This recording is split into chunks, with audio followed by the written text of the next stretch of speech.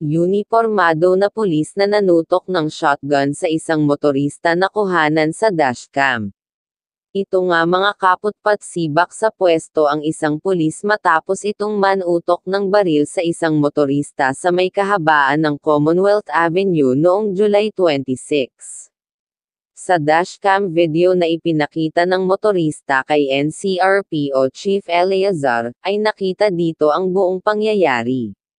Base sa kuha ng dashcam ng motorista noong July 26 sa Commonwealth Avenue makikitang nag-overtake ang puting SUV kung saan dito sakay ang pulis na si Master Sergeant Aquino na siyang nanutok ng baril sa nasabing motorista.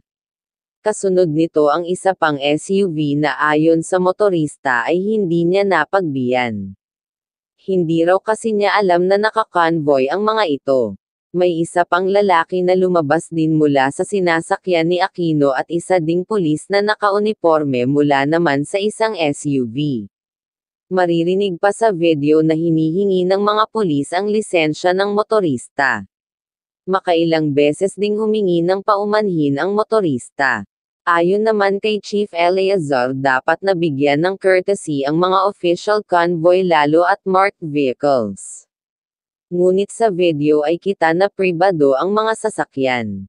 Clearly nakita natin na mali ang tao natin doon, we are here to protect and to serve not to intimidate or threaten our citizens ani ni Chief Eleazar sa panayam nito sa ABS-CBN.